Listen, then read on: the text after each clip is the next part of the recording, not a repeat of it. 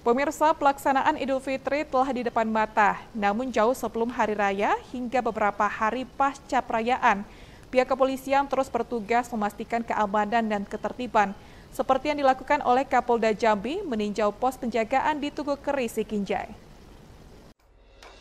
Guna memastikan perayaan Idul Fitri yang aman dan kondusif, Kapolda Jambi Irjen Pol Rusti Hartono meninjau pos jaga operasi ketupat yang berada di kawasan Tugu Keris Siginjai, Kota Jambi pada Selasa 9 April 2024. Kapolda Jambi didampingi oleh pejabat utama jajaran Polda Jambi serta Polresta Jambi dengan rangkaian acara Zoom meeting bersama para Kapolres dan Kapolresta yang ada di seluruh wilayah Provinsi Jambi.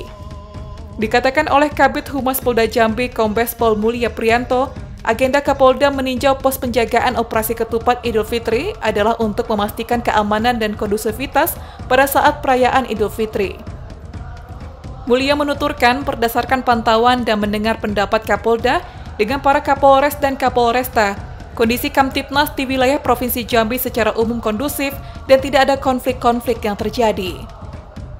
Mulia berharap jika masyarakat mendapati terjadinya gangguan Kamtipnas, segera melaporkan kepada pihak keamanan terdekat. Halim Ad Ya, jadi malam ini ya, tadi Bapak Kapolda didampingi para pejabat utama Polda Jambi memantau langsung situasi uh, malam takbiran ya pada malam hari ini beserta seluruh Polres jajaran dan Forkopimda Kabupaten Kota. Tadi eh, rekan-rekan bisa menyaksikan beliau langsung memimpin mengecek kesiapan para uh, Kapolres uh, yang dibantu dengan oleh instansi lainnya dari TNI, dari pemerintah daerah.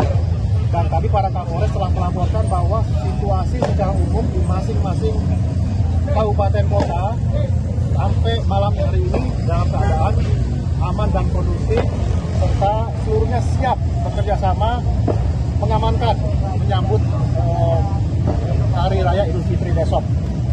Halim Adrian, Cek TV, melaporkan.